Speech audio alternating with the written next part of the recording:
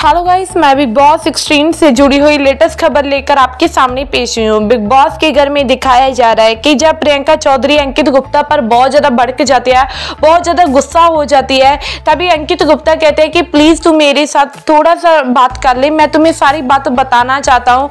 तो वो प्रियंका चौधरी को पकड़ लेते हैं, लेकिन प्रियंका चौधरी कहती है कि, प्लीज़ अंकित, तुम इससे दूर हो जाओ और मैंने तुम्हारी कोई बात नहीं सुनी है, मुझे पता चल चुका है।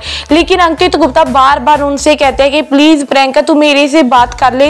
मैं तुम्हें सारी बात बताना चाहता हूँ, लेकिन प्रियंका चौधरी सौंदर्य पर बहुत ज़्यादा गुस्सा होती है और कहती है कि, अंकित, तुम्हें मेरे से क्या बात करनी है? तुम्हें जिसके साथ बात करनी है ना तो तू उनके साथ बात कर। मुझसे बात करने की अब तुम्हें ज़रूरत नहीं है, क्योंकि मैं तुमसे बात नहीं करूँगी। और कहती है कि, तूने मुझे पागल समझा है क्या? और इनके चलते हुए जो अंकित गुप्ता वो भी उनकी बातें सुनकर काफ़ी ज़्यादा सैड हो जाते हैं। लेकिन प्रियंका चौधरी, अंकित गुप्ता की बातों से बहुत ज़्यादा दुखी होती है और उनसे से सिर्फ़ जुदा होना चाहती है। लेकिन आपको क्या लगता है कि प्रियंका चौधरी को अंकित गुप्ता की बात सुननी चाहिए? या नहीं तो प्लीज़ आप अपनी राय हमसे शेयर ज़रूर कीजिए और उनसे जुड़ी हर अपडेट के लिए चैनल को सब्सक्राइब एंड वीडियो को लाइक नहीं किया तो प्लीज़ जल्दी से जल्दी कर दीजिए। धन्यवाद।